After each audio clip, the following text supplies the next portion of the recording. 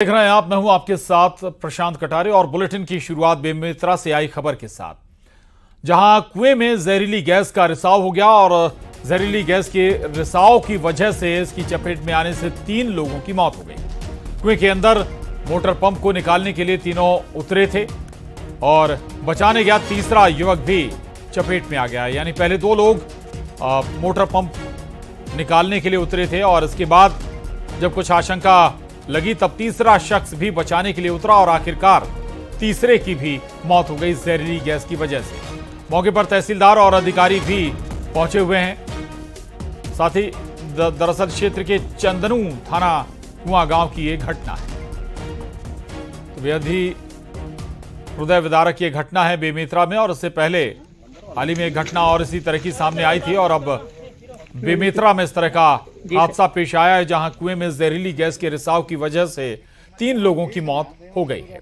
कुएँ के अंदर लगे मोटर पंप को निकालने के लिए पहले दो लोग उतरे थे और जब कुछ आशंका नज़र आई तब तीसरा शख्स भी उन्हें बचाने के लिए उतरा और उसने भी दम तोड़ दिया। न्यूज़ एटीन संवाददाता प्रशांत शर्मा हमारे साथ जुड़ गए हैं। ये वाकई हृदय विदारक है। क्या बता रहे हैं जो जानकार हैं जो स्वाभाविक है कुछ और लोग भी वहाँ पर रहे होंगे इस घटना के बारे में। प्रशांत। जी निश्चित रूप से एक दिल दहला देने वाली घटना है जी। और जिस तरह घटना निकल कर सामने ये चंदनू थाना क्षेत्र के कुआँ गाँव का है जहाँ कुएँ में जो मोटर पंप लगा था क्योंकि बारिश का सीज़न है और बारिश के सीज़न में कुआँ लबालब हो जाता है तो उससे पहले अपने मोटर पंप को सुरक्षित बाहर निकालने के लिए ये किसान कुएँ में उतरे हुए थे। और जब कुएँ में ये निकालने के लिए निकले और जो कनेक्शन था उसे कवर करने के लिए उतरे थे, उस दौरान उन दोनों किसानों की मौत हो गई। वहीं जब एक पास में एक व्यक्ति और था, जिसने इनकी आवाज़ सुनी, उसके बाद वो वहाँ मौके पर पहुँचा वो आनंद फानंद में उनको बाहर निकालने के लिए वो भी कुएँ में उतरा। लेकिन तीनों युवकों की जो मौत है, वो कुएँ में हो गई है। वहीं घटना के तत्काल बाद जब चंदनू थाना के जो पीआई है, उनको जानकारी दी गई है। उसके बाद जो नवागढ़ तहसीलदार है वो मौके पर पहुँचे हैं और रेस्क्यू करने के प्रयास किया जा रहा है। क्योंकि जिस तरह गैस का रिसाव हुआ है वो कुएँ के पास जाने से हर कोई बच रहा है कोई भी रिस्क नहीं ले रहा है। साथ ही अधिकारी जो है लेकिन ऐसे ऐसे हादसे पहले भी हुए हैं। बावजूद इतनी बड़ी लापरवाही कैसे हो गई? जी निश्चित रूप से ये जो घटना घटी है कहीं ना कहीं लापरवाही से ही ये हादसा हुआ है क्योंकि ग्रामीण के गाँव के लोगों को ज़्यादा जानकारी रहती नहीं है लेकिन बेमेतरा इलाके में इस तरह की दूसरी तीसरी घटना है वहीं जो प्रशासन के अधिकारी पहुँचे हैं वो भिलाई से रेस्क्यू टीम के आने के इंतज़ार कर रहे हैं जबकि क्योंकि जैसे ही रेस्क्यू टीम आएगी तो जो तीनों सौ कुएँ में है उन्हें बाहर निकाला जा सकेगा। तो कहीं ना कहीं जो ज्ञानता है लोगों को जानकारी नहीं है कि इस तरह के जो कुएँ हैं कच्चे कुएँ ये जो जो ये कुआँ है जहाँ ये घटना घटा है ये खेत में एक कच्चा कुआँ है जहाँ इस तरह का रिसाव हुआ है, है। और इस घटना ने तीन लोगों की जान ले ली है। जी, जी। शुक्रिया आपका धन्यवाद जानकारी के लिए। और अब आगे बढ़ेंगे। कांकेर से बड़ी खबर है, जहाँ केसो कोडी नदी में बड़ा हादसा टल गया। फनसी नदी में ट्रैक्टर फंस गया, लोगों ने तैरकर अपनी जान बचाई।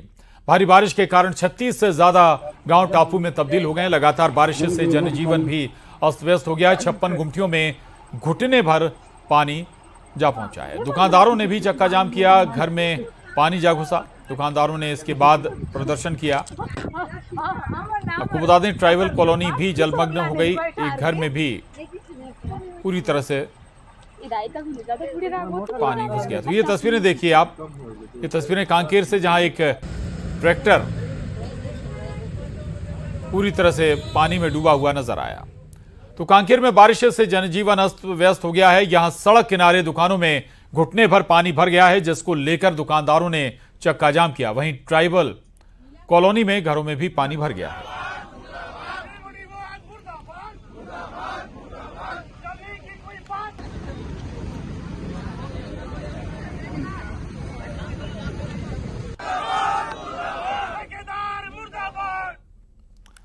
और न्यूज़ एटीन संवाददाता खेम नारायण शर्मा हमारे साथ जुड़ गए हैं। खेम नारायण कांकेर में वाकई हालात बहुत बदतर हो गए हैं। बारिश के बाद घरों में बहुत सारी जगह कॉलोनियों में पानी भर गया है। क्या और झेल रहे परेशानी लोग? जी देखिए कांकेर ज़िले में येलो अलर्ट जारी है और कांकेर ज़िले के सभी स्थानों पर जो है भारी बारिश जो है इस वक्त चल रहा है और भारी बारिश से कई सारे जो है समस्याएँ और लोगों के जो जनजीवन पर असर पड़ा है वो सब नज़र आने लगे हैं। वैसे ही एक जो बड़ा हादसा है आज टल गया। कैसोकोड़ी नदी पर जो है काफ़ी उफान पर थी और लोग जो है उस नदी को पार करने का प्रयास ट्रैक्टर में बैठकर कर रहे थे और अचानक जो है ट्रैक्टर बीच नदी में जाकर फंस गई। लेकिन उन ग्रामीणों को तैरना आता था इसलिए वो नदी को तैर कर जो है दूसरे किनारे पर निकल गए और अपनी जान बचा ली है। हालाँकि ये जो जो ग्रामीण इलाके हैं अंदरूनी इलाके हैं जहाँ पर पुल पुलिया नहीं बन पाए हैं वहाँ जो है इस प्रकार का जोखिम उठाना जो है ग्रामीणों की मजबूरी मजबूरी होती है क्योंकि कई आवश्यक कार्य जैसे आ, कोई बीमार पड़ा है या कुछ और भी आवश्यक जैसे कार्य होते हैं उसके लिए जब बारिश के दिनों में इस तरीके से नदी नाले उफान में आते हैं तो उनको जो है इस तरीके से नदी नाले पार करना ठीक है। बिल्कुल तो लोगों की वाकई परेशानी बढ़ी हुई है। ये तस्वीरें भी बयां कर रही हैं। आखिर घर पूरी तरह से जलमग्न हो गए हैं। कई जगह नदी नालों में भी पानी उफान पर है। शुक्रिया आपका जानकारी के लिए। और दंतेवाड़ा में लगातार हो रही बारिश से किरंदुल की निचली बस्ती में पानी घुस गया। लगातार हो रही बारिश से जनजीवन अस्त व्यस्त हो गया। राहत और बचाव कार्य जारी। बता दें कि पिछले दिनों एनएमडीसी का डैम फूटने से भारी तबाही हुई थी जिसे लेकर गाँव वालों में काफ़ी नाराज़गी थी। ग्रामीणों ने एनएमडीसी पर लापरवाही का आरोप भी लगाया था। लोगों के घरों में पानी घुस गया है। बाढ़ में कई महिलाओं को रेस्क्यू करके बचाया गया।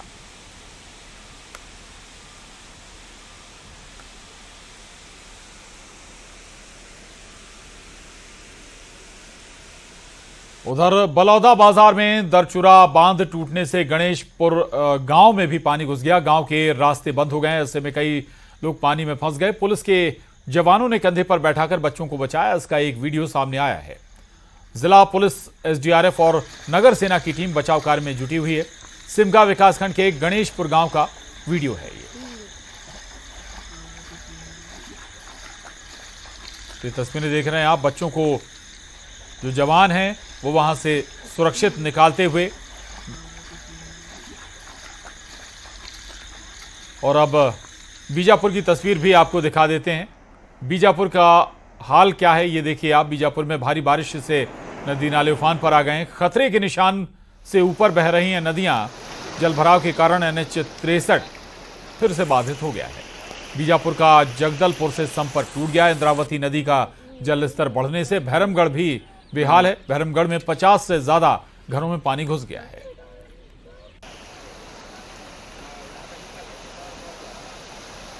तो बीजापुर भी पूरी तरह से जलमग्न है, नदी नाले उफान पर हैं। और अब खबर पिंडरा से। पिंडरा में मूसलाधार बारिश के बाद कई गाँव का संपर्क टूट गया सड़क मार्ग से और सड़क पर आपको बता दें, पानी ही पानी है। जावस नदी का पानी पहली बार नदी में बाढ़ आई है। पूरे सप्ताह बारिश की संभावना मौसम विभाग जता रहा है। जांजगीर का हाल भी देख लीजिए आप, जहाँ लगातार बारिश से हसदेव नदी उफान पर आ गई है। केरा झरिया में बने रपटा के ऊपर से तीन फिट तक पानी बह रहा है और लगातार पुल के ऊपर पानी का बहाव बना हुआ है। तो आवागमन भी यहाँ से बाधित हो गया है। लगातार पुल के ऊपर से पानी बह रहा है।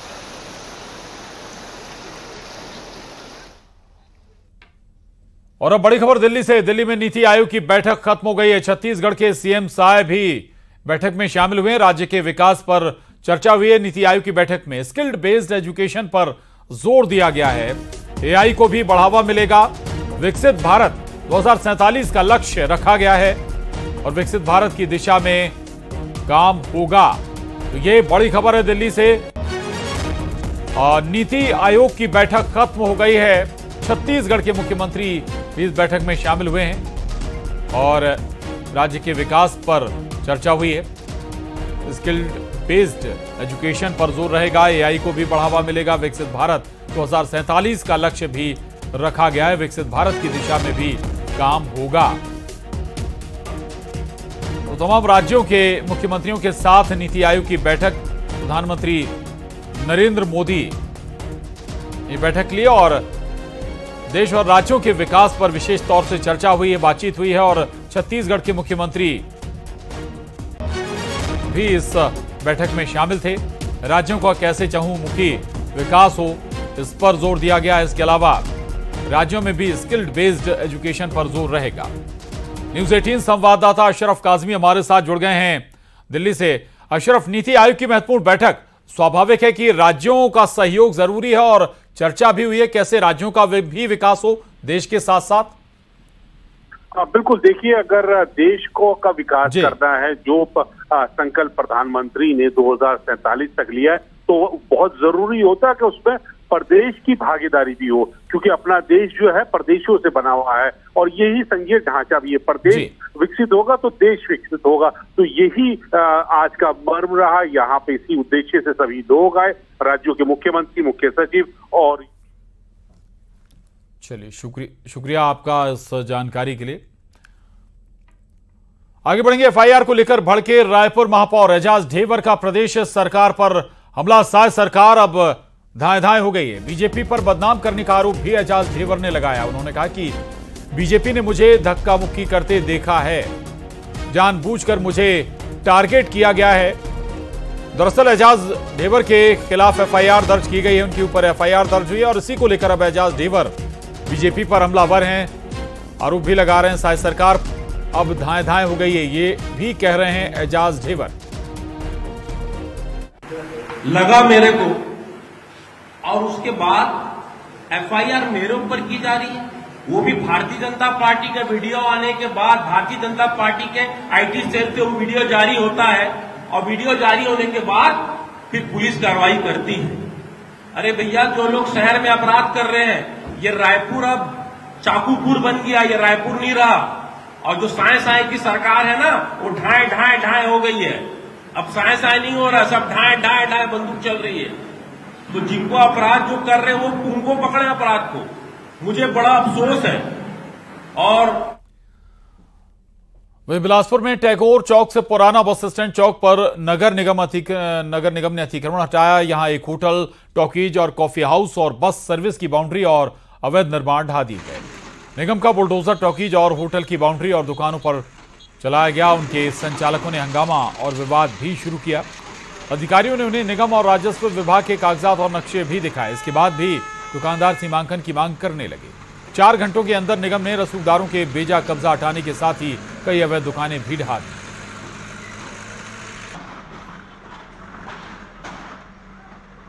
तस्वीरें देख रहे हैं आप। अवैध निर्माण पर बिलासपुर में खासतौर से कार्रवाई चल रही है। चाहे दुकान हो, मॉल हो, उनके सामने जो भी अवैध निर्माण है, उसे हटाया जा रहा है।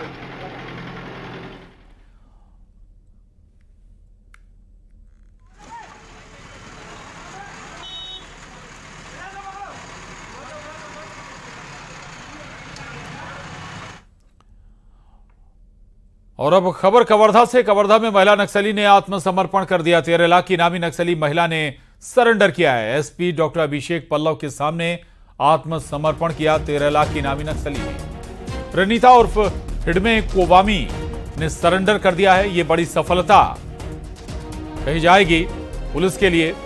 तेरह लाख की इनामी नक्सली ने सरेंडर किया है, आत्मसमर्पण किया है। और आत्मसमर्पण करने वाली महिला नक्सली का नाम रनीता उर्फ़ हिडमे कोवामी। अहम सफलता में रंजिता तेरह लाख की इनामी माओवादी ने आज कवर्धा पुलिस के सामने आत्मसमर्पण किया है। इनके ऊपर मध्य प्रदेश में 19 अपराध और छत्तीसगढ़ में अभी एक अपराध का पता चला है। ये 2016 से पिछले आठ वर्षों से माओवादी संगठन में काम कर रही थी। ये इनके पति प्रेम अभी भी बीस लाख के इनामी है, अभी भी माओवादियों के साथ काम कर रहे हैं और ये Vikas special zonal committee member 25 lakh का इनामी उसके साथ कार्य करती थी। माओवादी संगठन के खोखले विचारधारा से समझ में आया। गाँव वालों के शोषण से परेशान होकर इन्होंने पुलिस के सामने आत्मसमर्पण किया है। रंजिता ने अपील की है कि उनके पति प्रेम भी माओवाद संगठन को छोड़े और आत्मसमर्पण करें। मैं प्रेम और विकास दोनों से अपील करता हूँ कि माओवादी संगठन को छोड़े। और बस्तर में डेंगू का प्रकोप देखने को मिल रहा है। शहर और ग्रामीण इलाकों में डेंगू के सत्रह मरीज़ मिले हैं। पाँच मरीजों का अभी भी इलाज चल रहा है। बाकी मरीज़ ठीक होकर घर लौट गए। स्वास्थ्य विभाग और निगम की टीम घर घर दस्तक दे रही है। कलेक्टर ने स्वास्थ्य विभाग को अलर्ट कर दिया है और स्वास्थ्य महकमा अलर्ट भी है। पाँच मरीज़ अभी भी जिनका इलाज चल रहा है। डेंगू हमारे यहाँ पिछले साल की बनस्बत बहुत नियंत्रण में है। हमारे शहर में मात्र सत्रह केस सत्रह केस हैं।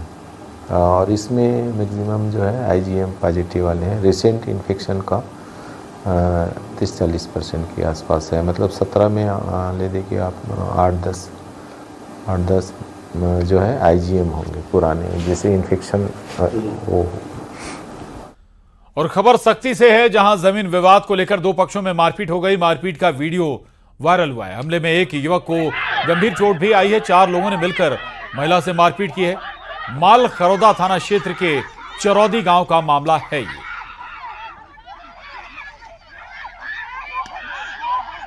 तो ये तस्वीरें देख रहे हैं आप। मारपीट का ये वीडियो वायरल हो रहा है। सख्ती से ये तस्वीरें सामने आई हैं। आपस में कुछ परिवार, दो परिवार भिड़ते हुए नज़र आ रहे हैं।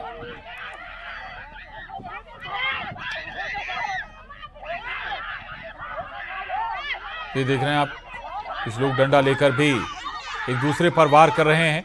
मारपीट का एक वीडियो सख्ती का बताया जा रहा है और हमले में एक युवक को गंभीर चोट भी आई है, जबकि चार लोगों ने मिलकर बताया जा रहा है कि एक महिला से मारपीट की है।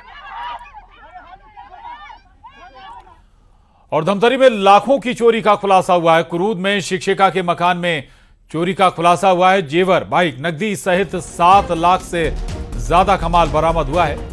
चोरी के आरोप में रायपुर के तीन युवक गिरफ़्तार भी कर लिए गए। कुरूद थाना क्षेत्र का मामला है ये। बड़ी खबर धमतरी से, जहाँ पर लाखों की चोरी का बड़ा खुलासा हुआ। कुरूद में शिक्षिका के मकान में चोरी का, चोरी की वारदात अंजाम दी गई थी और इसके बाद जेवर, बाइक, नकदी सहित सात लाख से ज़्यादा का माल पुलिस ने बरामद किया है।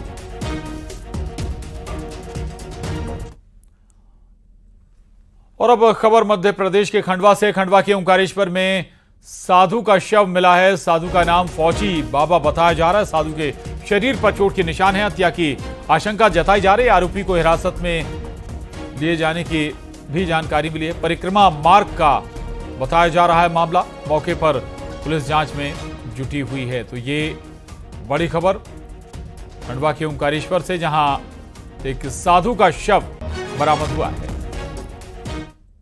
अमित जायसवाल न्यूज़ एटीन संवाददाता हमारे साथ जुड़ गए हैं जानकारी के साथ। अमित शरीर पर चोट के भी निशान है यानी कि हत्या की आशंका भी है क्या और जानकारी प्राथमिक तौर पर?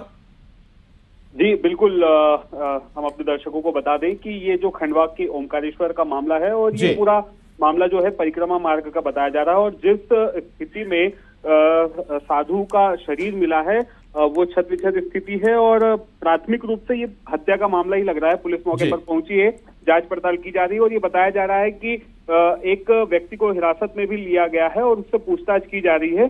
तो जो मानधाता थाना पुलिस है वो सक्रिय हो गई है जैसे ही सूचना मिली। लेकिन ये कहीं ना कहीं जो है ये साधु के साथ इस तरह का कृत्य जो हुआ है वो कहीं ना कहीं लोगों को बेहद चौंकाने वाला भी है डराने वाला भी है। इस पूरे मामले की जाँच पड़ताल की जा रही है। जी। शुक्रिया अमित। पूरी जानकारी के लिए।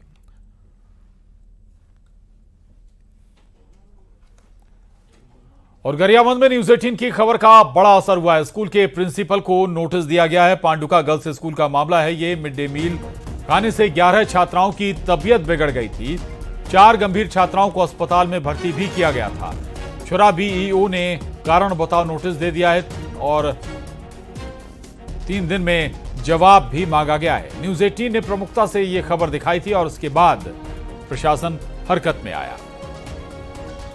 दरअसल कई छात्राओं की तबीयत एक साथ बिगड़ गई थी, जिसमें कई छात्राओं की तबीयत ज़्यादा गड़बड़ थी। खराब थी, उन्हें अस्पताल में भी भर्ती कराना पड़ा था। और अब छुरा बीईओ ने कारण बताओ नोटिस दिया है। तीन दिन में जवाब भी मांगा गया।